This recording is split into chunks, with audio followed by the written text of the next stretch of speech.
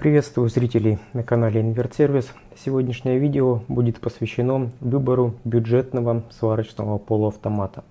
Меня очень часто спрашивают, а какой недорогой полуавтомат купить.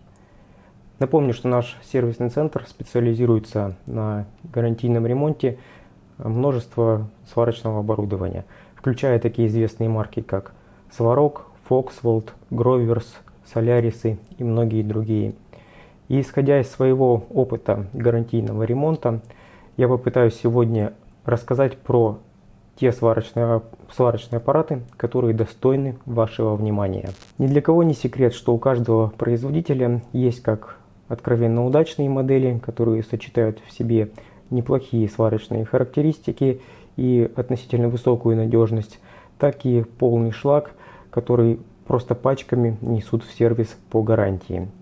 И сегодня я составлю небольшой список именно тех моделей, которые я бы рекомендовал к покупке, при этом мне после этого совершенно не будет стыдно. То есть это абсолютно достойные модели. И начнем мы наш рейтинг с, наверное, одного из самых бюджетных полуавтоматов, который сейчас можно купить. Э, иногда его мои подписчики покупали где-то на Озоне или на Авито его порядка 16 тысяч. Сейчас я посмотрел, он стоит чуточку дороже, можно приобрести где-то за 18-19. Это сварочный полуавтомат Vartec 200 Duo. Это, наверное, та ступенька, ниже которой опускаться точно не стоит. Вот купив этот полуавтомат, вы э, будете уверенно работать и, в принципе, наверное, не знать горя. Э, полуавтомат сочетает в себе честные заявленные характеристики, то есть это 200 ампер в режиме полуавтомата и 160 ампер в режиме ручной дуговой сварки. Аппарат, на мой взгляд, очень неплохо варит, наверное, в своей цене какую-то альтернативу в плане сварки найти будет очень проблематично.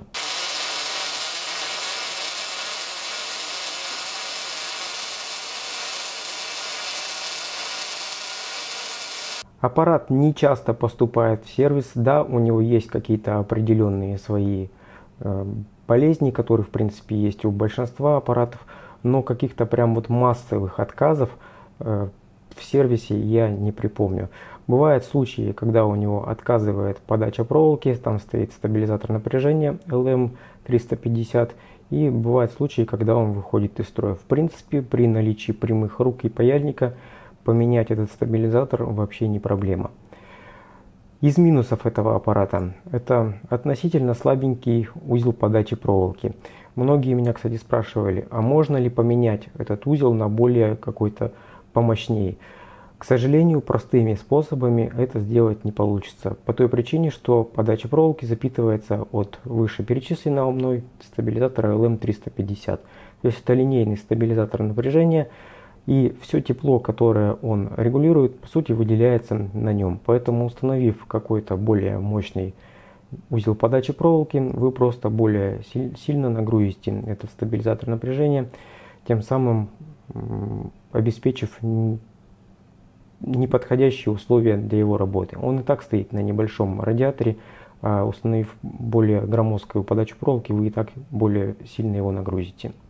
Следующий минус этого аппарата – это его маленькие радиаторы. Аппарат предназначен для сварки э, какого-то тонкого металла. Он подойдет идеально для кузовщины. Вот варить какую-то кузовщину 0,8-0,6 этим аппаратом просто идеально. Для каких-то более толстых работ я бы этот аппарат не рекомендовал.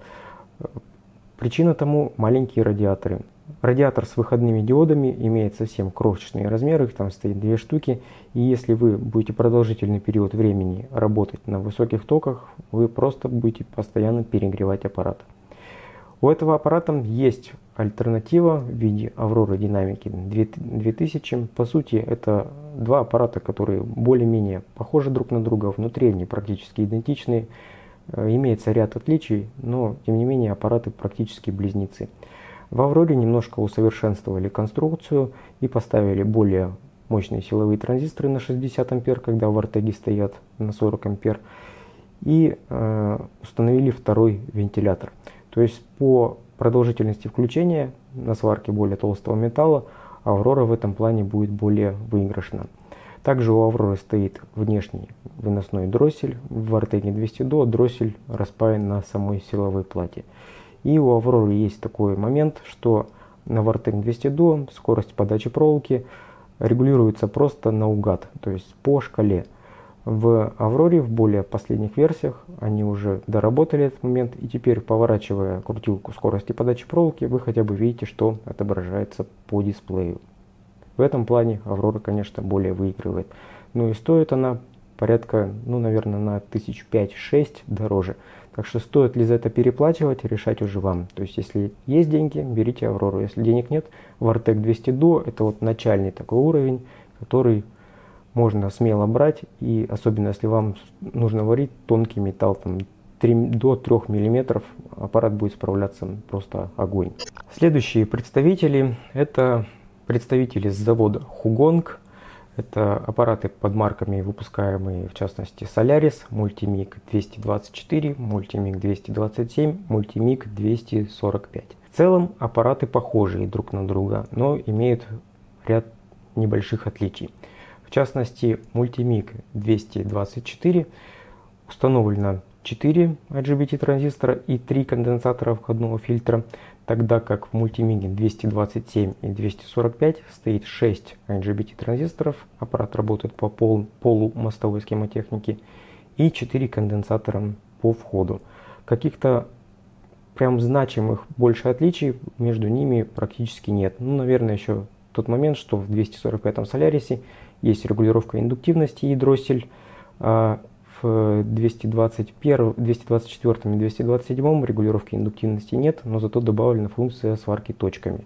При этом отсутствует выходной дроссель, там какое-то стоит ферритовое кольцо, и на нем буквально там сделано пару витков, но это не дроссель, это просто какой-то фильтр, не более того. В целом аппараты достойные, попадают в сервис относительно редко, каких-то прям массовых отказов, болячек у них не замечено. Бывают какие-то мелкие сопли, там, знаете, то реле не включится, зависнет, там, контакты у него там что-то не так, то какие-то вот не пропаги где-то в шлейфе, э, в разъеме шлейфа, ну, какие-то такие мелкие нюансы. В целом, каких-то прям массовых отказов по ним нету. То есть смело можно брать, будет нормально варить, работать, никаких проблем с ними нету. Э, и также хочется отметить, что выпускает их завод Хугонг, как я уже говорил, это один из, наверное, крупнейших заводов по сварочному оборудованию. И э, все сделано на уровне. Все выводы транзисторов, вся высоковольтная часть, включая блоки питания, залиты силиконовым каким-то компаундом, таким, который, в принципе, при ремонте, при ремонте легко отдирается и предотвращает попадание пыли в высоковольтную часть. То есть аппараты вполне неплохо себя зарекомендовали. Э, также прошу заметить такой момент, что Aurora динамика, что э, ну, динамика 2000, что Vartec 200 Duo, что Solaris и мультимиги, они все идут микроконтроллерные. То есть в случае гибели микроконтроллера, там, допустим, если поддержка аппарата прекратится и у производителя не будет плат, ну, к сожалению, наверное, придется либо искать донора, где можно будет снять этот контроллер, ну, либо просто выкинуть этот аппарат. Следующий момент, это также представитель будет с завода Хугонг. Это Foxvolt Invermix 185-205.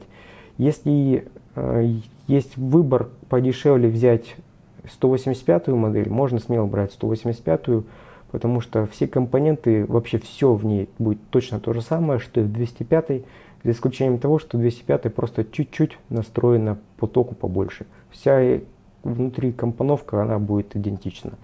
И Аппарат также выпускается на заводе Хугонг и практически представляет копию Соляриса 245 имеет все плюсы Соляриса и все минусы Соляриса, то есть это практически идентичный аппарат, просто в оранжевом цвете, в Солярис будет 245 в синем цвете, все остальное в них в принципе идентично. Идентичен также сварочный ток. Допустим, в 205 Foxhold производитель честно указал характеристики, в 245-м Solaris производитель завысил характеристики. По факту у них все абсолютно одинаково, просто Foxhold более честно указал. А, какие минусы у аппаратов с завода Хугонг, в частности, вот Solaris 245, 227, 224 и Foxhold 205 и 185. Относительно слабенький узел подачи проволоки. Моторчик совершенно небольшой, открытого типа, очень часто набивается пыль и его просто клинит. А, не рекомендовал бы использовать горелку больше, чем 3 метра, так как мотор достаточно слабенький. В целом его можно заменить без каких-то либо проблем, главное его туда запихать. Ну, если у кого-то есть руки, я думаю, что это все можно без, с легкостью сделать. Э, блок подачи проволоки запитывается от выходного, от силового трансформатора, поэтому нагрузить туда можно вплоть до четырехроликового подающего механизма без каких-либо проблем. Э, следующий минус, который мне не очень нравится в 200, 205 инвермигах и в том числе и в солярисах всех вышеперечисленных, это сварка тонкого металла. Да, кто-то варит ими, кто-то даже у кого-то получается нормально, кто-то хвалит их на тонком металле, но лично мне на тонком металле эти аппараты ну как-то не зашли. На мой взгляд, та же Aurora Dynamica 2000 и Vortec 200 Duo варит тонко заметно лучше. Но вот конек 205 инвермигов и вышеперечисленных солярисов это сварка толстого металла. Под толстая, ну допустим даже вот полутора миллиметров и выше там 3-4 и даже чуть выше. Ставите проволоку единицу и шпарите. ПВ у них замечательный, радиаторы большие, э, перегрева практически не будет, вентилятор стоит мощный, поэтому работают практически целыми сутками на проволоке единицы, не перегреваясь. У меня у многих знакомых на предприятиях, которые занимаются изготовлением металлоконструкций, э, работают 205 инвермиги, причем работают достаточно успешно, ну, при условии того, что их э, относительно часто будут чистить. Э, как и любые аппараты, аппараты завода Хугонг не очень любят попадание каких-то инородных предметов, несмотря на то, что там и залито все вроде герметиком, но если пыль, э, пыли в воздухе много, там где-то рядом зачищают болгарки, это все равно не спасает. Пыль набивается куда угодно и замыкает где угодно. А в целом больше каких-то особых болячек по солярисам и э, инвермигам отмечено не было. Следующий аппарат, который, на мой взгляд, достоин внимания, это сварок Real MiG 200. Прошу э, обратить внимание, что нужно выбирать версию именно N20 240.02 и прошу не путать ее с версией, сейчас новая вышла, N2H3. Вот N2H3 э, просто можете обходить смело стороной. Там стоит пластиковый подающий механизм, там стоит э, какой-то непонятный рук, э, разъем под, для подключения горелки. Короче, обходите его стороной, даже не обращайте на него внимания. А вот э, Realme, который N2402, он достоин внимания. Чуть первое, что хочется заметить в нем, это аппарат абсолютно аналоговый. То есть в нем нету ни микроконтроллеров, в нем нету ни каких-то ни дисплеев, ничего. То есть, в принципе, при желании можно будет аппарат, ну, если у нас вообще не, э, все производители там, электроники не уйдут, конечно, с России, но этот аппарат можно будет починить на коленке, по сути, с любого радиомагазина. То есть даже если там не будет у вас каких-то прям э, идентичных запчастей, просто ставить какие-то аналоги, там все это не критично. Все, вся комплектуха, она очень популярная, то есть в любом радиомагазине подбирается все это без проблем, какие-то аналоги можно подобрать, где-то что-то как-то перебиться. То есть даже через 10 лет этот аппарат отремонтировать вообще не представляет никакой возможности, именно по той причине, что он аналоговый.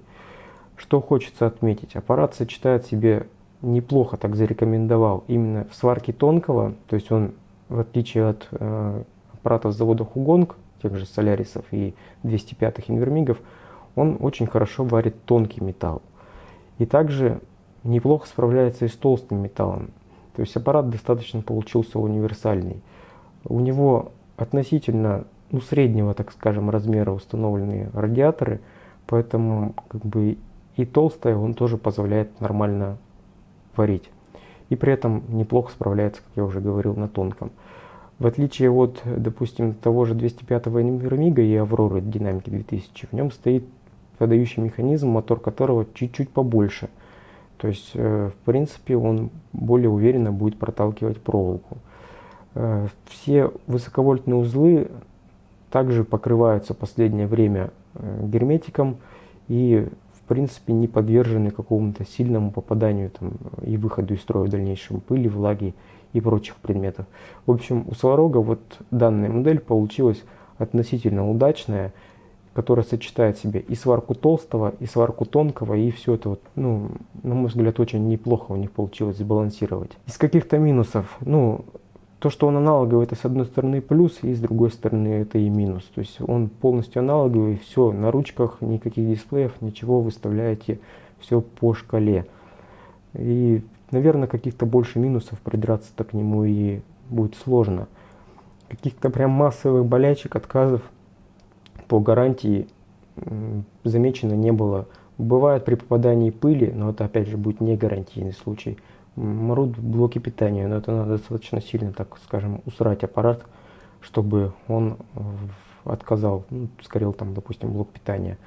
Бывают какие-то еще мелкие такие же сопли, как и у Хугонга, но тоже все не критично, это достаточно редко происходит. Поэтому можно тоже смело брать этот аппарат, если вам нужен универсальная универсальная модель под сварку и толстого, и тонкого.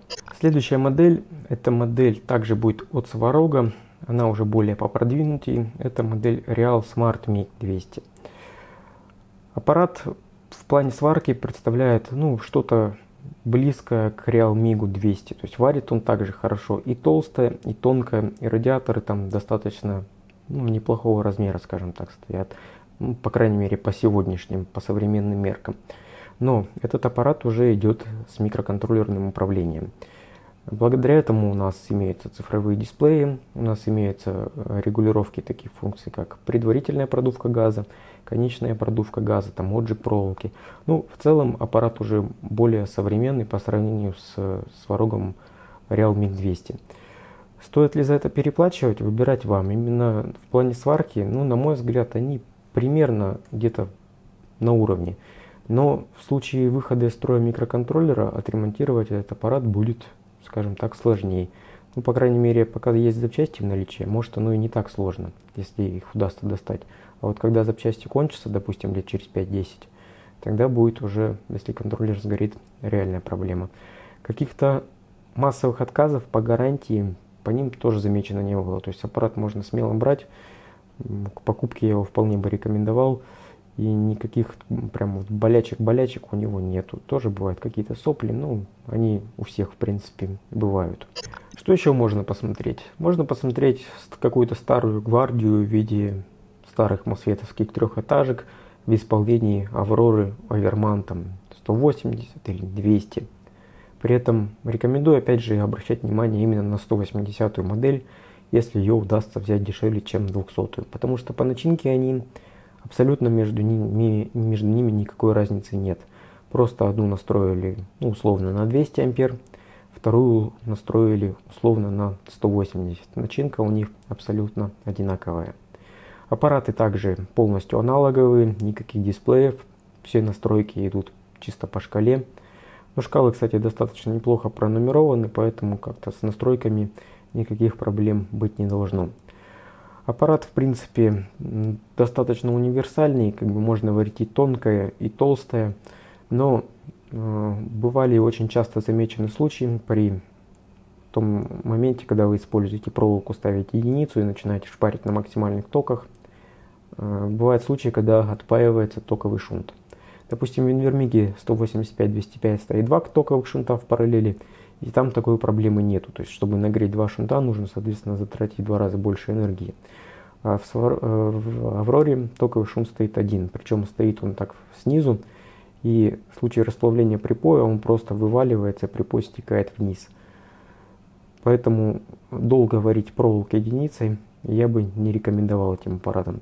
Бывают самопроизвольные какие-то случаи пробоя MOSFET транзисторов, которые непонятно, если честно, на мой взгляд, с чем связаны. То есть то ли не успевает бывает тепло от них отвести, потому что транзисторы стоят через э, изолирующие подкладки, то ли еще что-то. Ну, бывают случаи, когда просто вот ни с того ни с сего выбивает MOSFET транзисторы. Каких-то больше особых болячек по ним, да в принципе, наверное, нет. Есть, кстати, у Aurora еще модель более поновей, там в виде Авермана 205, 185, у которых есть функция ручной дуговой сварки – но, на мой взгляд, выбирать их не стоит, если вам не нужна ручная дуговая сварка. В том плане, что подающий механизм там намного хуже, чем в 200-м Авермане. То есть в 200-м Авермане стоит такой, я бы сказал, наверное, идеальный подающий механизм для недорогого аппарата. С, таким, с большим мотором, который беззвучно работает и неплохо протягивает проволоку даже на 5-метровых горелках. В 205-х Аверманах такого нет, там стоит подающий механизм открытого типа, и он намного меньше и меньше по току. Теперь давайте подведем итог из всего вышесказанного.